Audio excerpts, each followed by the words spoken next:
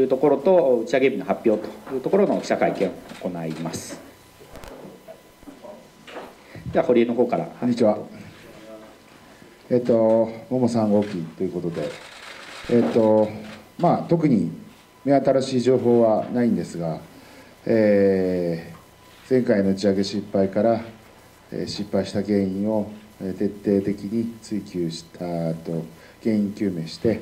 今回万全の体制でえできることは全てやった上でえ打ち上げに臨むということで会見させていただきます。よろしくお願いします。はい、えー、それでは、えーと、本も3号機のですね機体の概要の説明、えー、を行います、えー、初めての方も何名かいらっしゃるようなので、えーと会社の概要のところからご説明します。えこの大樹町に本社を構えております我々インターステラテクノロジーズですけれども東京、まあ、住所は千葉ですけれども浦安の方にも支社を置いて開発しているところです。従業員として22名22人いるというところでもあります。で我々の事業インターステラの事業としましてはあと2つ考えております。まず1つ目が観測ロケットのモモこの打ち上げです。これは初号機2号機と昨年おととしとをやってきましたけれどもこれを商業化するというところをまず当面の目標にしているというところになります。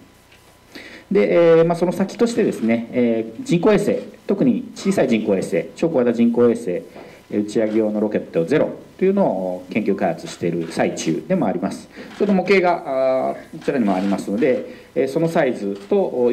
同じ縮尺でもももありますので後ほど見ていただいて比較大きさ比較していただければというところでもあります。かなり大きいロケットになってくるというところでもあります。で観測ロケットと人工衛星になるための衛星用のロケットという違いとして地球を回るか回らないかというところでもあります。宇宙空間に到達するという意味では観測ロケット特にまあモモも宇宙空間に到達するというところですけれども弾道飛行え、宇宙空間まで行って落ちてくるような観測ロケットに対して人工衛星打ち上げ用のものは地球の周りを回るといういうところがあ違うというところになります。で日本においてはあの宇宙空間に到達するようなロケットは全てこれまでは国主導の、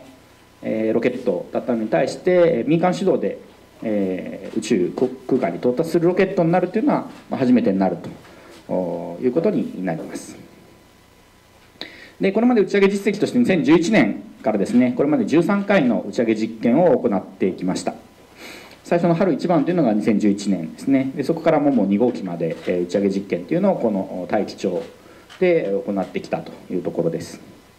で特にももについて、えーとまあ、おさらいですけれども初号機2017年7月30日に打ち上げを行いました。えー、離床までは正常だったんですけれども離床後打ち上げ地面を離れてからですね地面を離れてから66秒後通信が途絶して、えーまあ、推定ですけれども MAX9 と呼ばれる一番空気の力を受けるところで機体が破損したと考えています、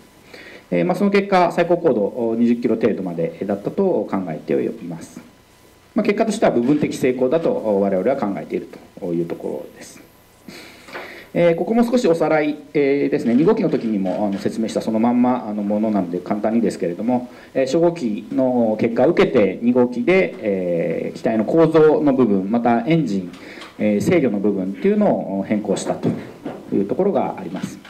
また2号機からペイロードですね、えっとまあ、我々自社開発のもの以外のものとして高知工科大学さんのインフラサウンドセンサーと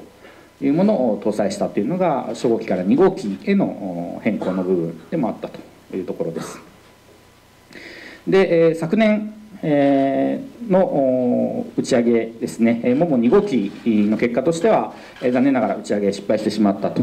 いうところでした。少しこちらもおさらいというところで、動画をお見せしたいと思います。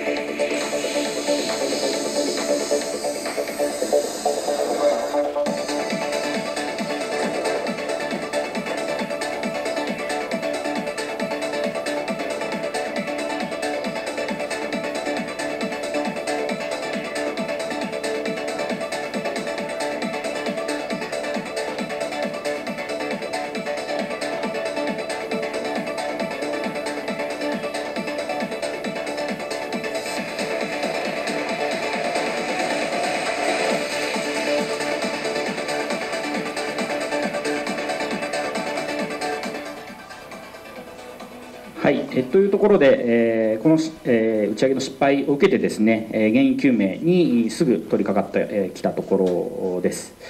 えー、原因究明完了しておりまして、えー、動画にもかなり映っていましたけれども初号機から2号機への変更部分であった、まあ、その新規要素であった姿勢制御用のスラスタ燃焼機という部品が設定範囲外ですね、まあ、特に、えー暖かいガスが出るんですけれどもかなり高い温度想定より高い温度で燃焼して、えー、と設定範囲外で動作したということにより、え、ガス温度が設計値を大幅に上回って配管が溶けてしまったと、まあ、ステンレスの配管ですけれどもこれが溶けたと。でこの溶け高温のガス漏れた高温のガスがバルブ駆動系配管という部分を損傷しそこが壊れたことによってエンジンが自動的に停止すると。で停止したと。いうところだと原因究明したというところです、え動画にもありました通り打ち上げ2秒後からですねこの節制用のスラス燃焼機っていうのが異常があるというところも動画および無線のデータで確認をしていると。いうところです。また、えっとまあ、そういう事象が起きたということに関して地上での再現し事件実験再現試験というのを実施しておりまして、えー、こう実際に打ち上げの時と同じ状況っていうのが、えーまあ、特定の状況では起こるということを確認したというところでもあります。じゃあそれに対してその対策をしましたというのがこの3号機ということになります。で、えーと、3号機の概要について、えー、ですけれども、えー、基本的な、えーとまあ、モモシリーズとしての大きなところは、ま、変わらないというところです。液体ロケットですしエタノール液体酸素でヘリウムで押すタイプのロケットというものです。でエンジン出力も変わらないところです。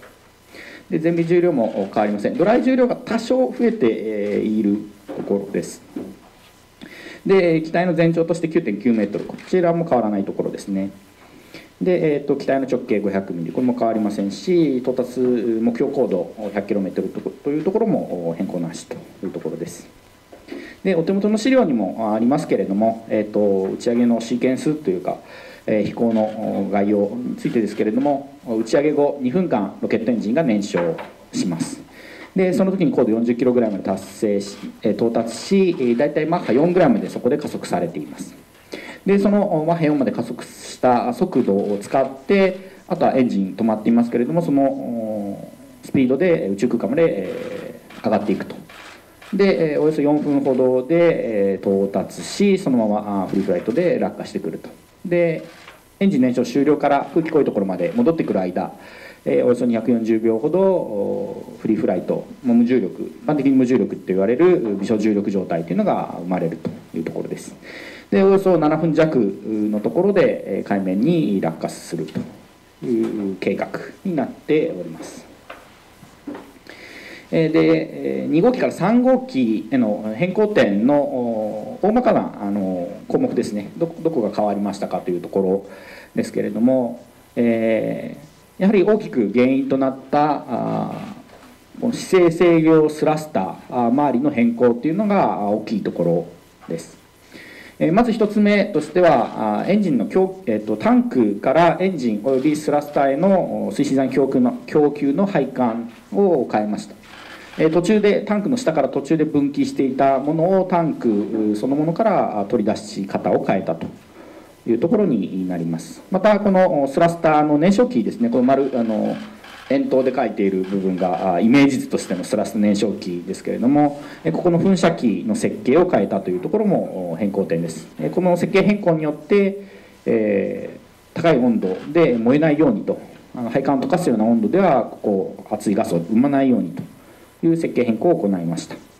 またそれに伴ってですねエタノールのメインバルブの位置として、えー、燃料取り出しの、えバルブの位置を変更しているというところです。またスポンサーさんも2号機から変更ありますしペイロードも一部へあの追加があるというところになっています。で特に、え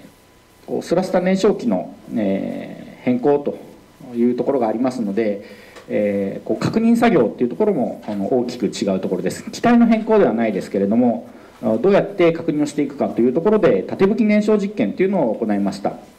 まあ、英語ではキャキャプティブファイアリングテストと言っていますけれどもこのような試験を1月および2月3月と行ってきたところです